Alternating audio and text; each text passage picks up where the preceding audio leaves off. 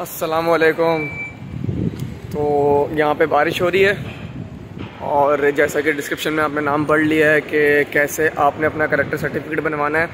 अब पाकिस्तान एम्बेसी या कोई भी आपकी जो एम्बेसी है, जैसे आप इंडिया से आ रहे हैं, नेपाल से आ रहे हैं, कहीं से भी आप आ रहे हैं और बांग्लादेश से आ रहे हैं तो आपकी एम्बेसीज़ यहीं पे बनी हुई है सेंट्रल लंदन में।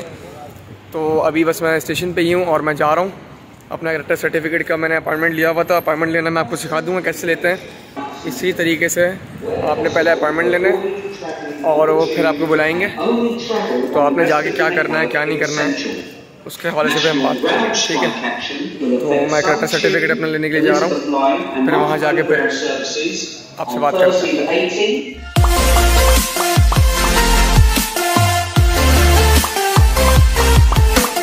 आ गया हूँ विक्टोरिया स्टेशन।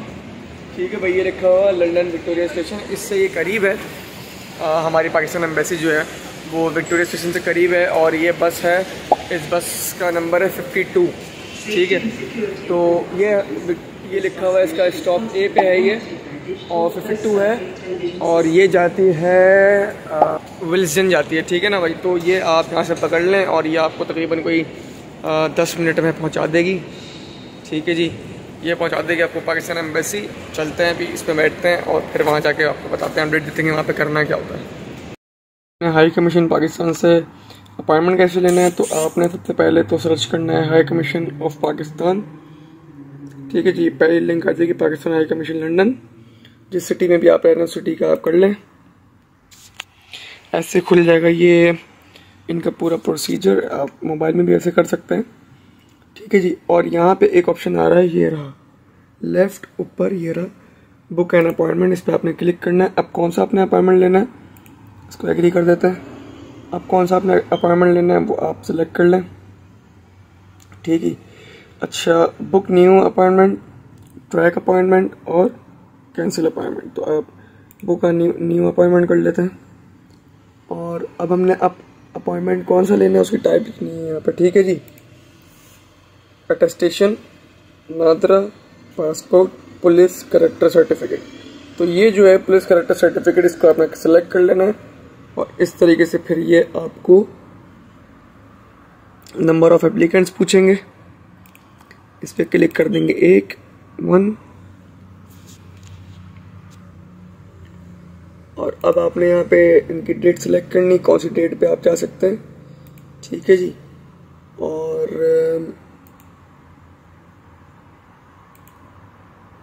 ऐसे कर सिक्स मैंने ट्वेंटी सिक्स आवर्स कर दी, ठीक है, और अपॉइंटमेंट टाइम यहाँ पे यहाँ से सिलेक्ट कर लें कुछ भी। ये, इसका मतलब है कि दस बज के पैंतालीस मिनट, इसका मतलब है ग्यारह बजे। इसका मतलब है ग्यारह बज के तीस मिनट और ग्यारह बज के पैंतालीस मिनट। इस ड्यूरेशन के बिटवीन आपने यहाँ पहुँचना है और ये सब अवेलेबल आ रहे हैं। इसको सिलेक्ट करने के बाद फिर जब आप नेक्स्ट करेंगे और उसके बाद जो है ना वो फिर आपका अपॉइंटमेंट बुक हो जाएगा। नेक्स्ट स्टेप में जाने के बाद अपनी डिटेल्स डाल दीजिएगा।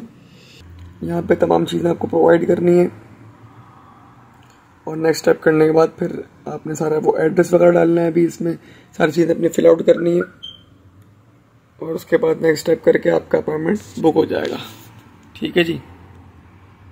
हाँ जी तो मैं आ गया हूँ हाई कमीशन पाकिस्तान से। और मैं पार्क में आके आप लोगों के लिए वीडियो बना रहा हूँ। मेरा सजेशन ये है, जो कराची से जो लोग आ रहे हैं, वो अपना करेक्टर सर्टिफिकेट कराची से ही बनवा कर आएँ। क्योंकि हाई कमीशन पाकिस्तान के पास यहाँ लंदन के अंदर यूके में सिर्फ़ पंजाब साइड और इस्लामाबाद की साइड का जो है वो एक्सेस है, पुलिस ने दिया हुआ है। हमारी कराची की पुलिस ने, सिंध पुलिस ने नहीं दिया हुआ। तो जो जो शहर, जो सिंध में आते हैं, वो अपना करेक्टर सर्टिफिकेट अपने शहरों से ही लेकर आए यहाँ यूके में।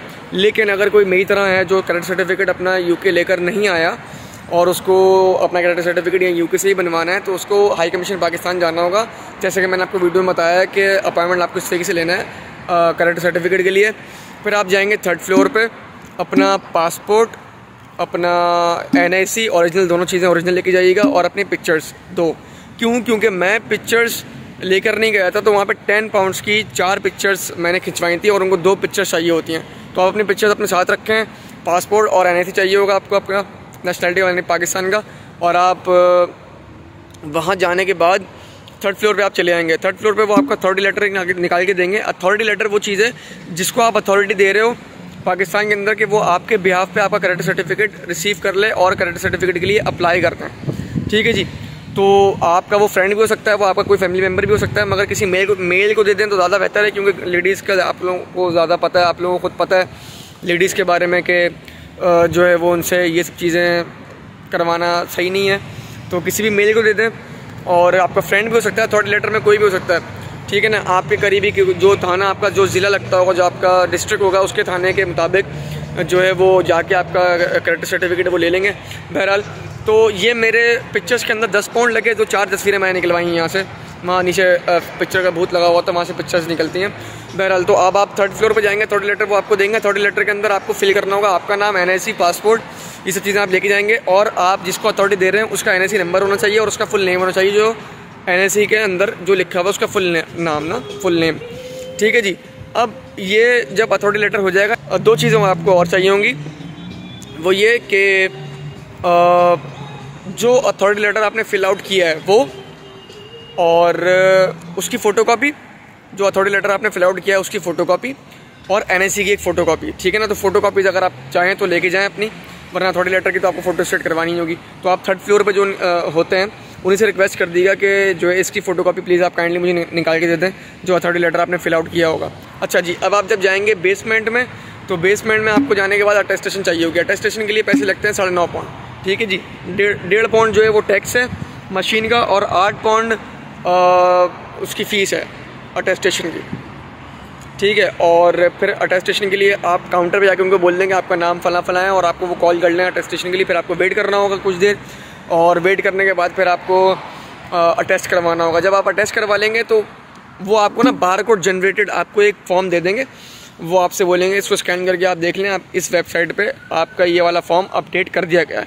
तो वो आप वहाँ से डाउनलोड कर लेंगे in the form of PDF ठीक है जी पी आप डाउनलोड कर लेंगे। अदरवाइज़ अगर आप वो पीडीएफ सही ना हो, आपको सही ना लग रहा हो तो आप अगेन थर्ड फ्लोर पर जाएँ और उनसे बोलेंगे कि जो लेटर इन्होंने मुझे फ़िज़िकल भी दिया है और वेबसाइट पे भी दिया है तो ये मुझे प्लीज़ काइंडली आप ये क्लियर ज़रा पीडीएफ बना के मुझे दे दें। फिर वो पीडीएफ आप भिजवाएँगे अपने पाकिस्तान किसी दोस्त को, जिसको या किसी फैमिली मेंबर को, जिसको भी आपने अथॉरिटी दी हुई है। एंड देन वो आपसे रिक्वायर करेगा आपकी पिक्चर्स दो पिक्चर्स चाहिए होंगी आपकी। एन की फ़ोटो कॉपी चाहिए होगी पासपोर्ट की फ़ोटो कॉपी चाहिए होगी और आपके घर का बिल चाहिए होगा। कोई सा भी बिल चाहिए होगा गैस या बिजली का बिल चाहिए होगा ठीक है? फिर उस अथॉरिटी लेटर वाले को जब आप ये सब चीज़ प्रोवाइड कर देंगे आप अपने फैमिली मेंबर से किसी से भी बोल सकते हैं वो वो आ, जो है वो आपका एन पासपोर्ट और पिक्चर्स और क्या कहते हैं बिल जो है ये चारों चीज़ें जो हैं वो कोई भी आपके घर वाला प्रोवाइड कर दे। फ़ोटो कॉपीज अदरवाइज़ आप ऐसा भी कर सकते हैं कि यहाँ से आप स्कैन करवा लें या किसी जगह पे स्कैन कर लें, या कैम स्कैनर से आप तस्वीरें खींच लें अपने एन की और पासपोर्ट की बिल्कुल क्लियर और बिल्कुल सही से इमेज और उसको वो फ़ोटो स्टेट वहाँ पे करवा लें। ठीक है जी, और पिक्चर्स वगैरह का आप चाहें तो जहाँ पे आपका रिकॉर्ड मौजूद है पिक्चर्स के हवाले से तो वो पिक्चर्स जो है वो आपकी वहाँ से निकलवा लें, वरना आप यहाँ से क्लियरली तस्वीरें भेज सकते हैं, आपकी वो प्रिंट आउट भी हो सकती है। ठीक है, हर चीज़ का हल मौजूद है। तो ये चीज़, ये चीज़ें आपको चाहिए होंगी आपके जो थाना, जो करीबी थाना है सिंध पुलिस के लिए। और वो वहाँ जाके फिर आपका करेक्टर सर्टिफिकेट जो है वो रिक्वेस्ट कर देंगे। और रिक्वेस्ट करने के बाद आ, उनको विद इन थ्री और फोर वर्किंग डेज़ जो है वो मिल जाएगा। ये चीज़ें मुझे कैसे पता है? क्योंकि मैंने वहाँ पे अपना रिक्वेस्ट करवाया अभी ही कॉल पे बात करवाई। क्योंकि मेरे जानने वाले मेरे एक फ्रेंड हैं। तो उन्होंने फ़ौरन कॉल करके पता किया तो उनको ये सब चीज़ें रिक्वायर करने के लिए बोला है। और यही बिल्कुल एग्जैक्ट सब चीज़ें बोली हैं कि आपको दो से तीन दिन में करेक्टर सर्टिफिकेट मिल जाएगा। फिर जब करेक्टर सर्टिफिकेट मुझे मेरा मिल जाएगा इस तरीके से आपको भी आपका मिल जाएगा, वहाँ पर पाकिस्तान में किसी को जिसको आप अथॉरिटी देंगे तो उसके बाद ये होगा कि वो आपको वहाँ से स्कैन करवा के in the form of PDF या फिर पिक्चर जो जैसे भी हो सके, वो आपको यहाँ भेजेंगे। जब आपको यहाँ भेजेंगे तो आपका, आपको उस पीडीएफ को प्रिंट आउट निकलवाना होगा या फिर आप हाई कमीशन पाकिस्तान ही चले जाएँ डायरेक्ट थर्ड फ्लोर पे, और उनसे बोल देंगे, मेरे पास ये पीडीएफ है, इसको आप प्रिंट आउट करके दे दें। जैसे वो प्रिंट आउट करेंगे तो आपको अगेन फिर दोबारा से उसी फॉर्म को ओरिजिनली हाई कमीशन पाकिस्तान से नीचे ग्राउंड बेसमेंट में जैसे आपने अटैच करवाया था, वो फिर दोबारा आपको अटैच करवाना होगा। बेसमेंट से फिर दोबारा से वही फ़ीस लगेगी और आपको अटैच करवाना होगा। जैसे अभी मुझे वहाँ से आएगा पीडीएफ और मैं जाऊँगा अगेन वहाँ पे और उनसे प्रिंट आउट निकलवाऊँगा प्रिंट आउट निकलवाने के बाद बेसमेंट से अच्छा वो आपको जाना है विदाउट एनी अपॉइंटमेंट जाना है। ठीक है बेसमेंट से फिर मैं जाऊँगा तो आ, फिर अटेस्टेशन की फ़ीस लगेगी और फिर मुझे अटेस्ट करवाना पड़ेगा। और उसके बाद फिर वो मैं हर जगह यूज़ कर सकता हूँ फॉर सिक्योरिटी बैच और ईच एंड एवरीथिंग तो ये सारा प्रोसीजर था। मैंने सोचा आप सबसे शेयर करूँ। ठीक है और भी कोई सवाल आते हो कोई चीज़ आपको पूछनी हो तो काइंडली आप सवाल कर सकते हैं। आराम से ईजी होकर पूछ सकते हैं। फील फ्री ठीक है जी? तो हम, मुझे दीजिए इजाज़त। मैं निकलता हूँ घर अपने। ठीक है? टेक केयर अल्लाह हाफिज़।